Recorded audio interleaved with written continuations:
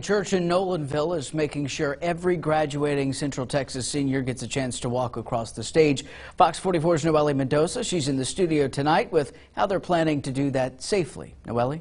Adam, with coronavirus leaving graduations for the class of 2020 up in the air for some districts, the Northside Baptist Church decided to step in and host their first ever baccalaureate ceremony, where, where any senior in Central Texas can be honored for their accomplishments.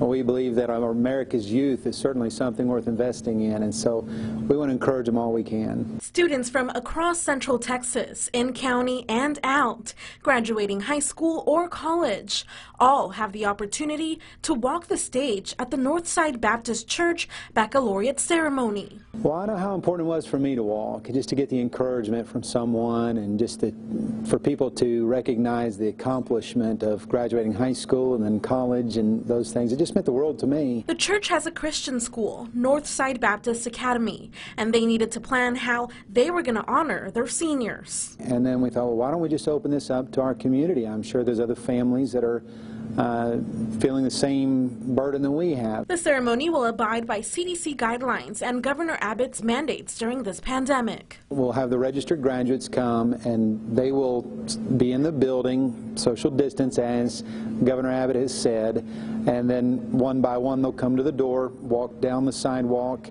receive a certificate from us, and everyone will get to cheer them on straight down the stairs and then straight to their cars to be quarantined with their families. While the seniors are inside, parents and loved ones can see and hear them on a live stream safely in their cars. We just want it to be the very best experience it can be for them to have all the same feelings, have all the same exercises maybe that anyone else graduating any other year would have. And to those graduating seniors feeling down because things didn't go as planned. Everyone in life has obstacles but they can be overcome.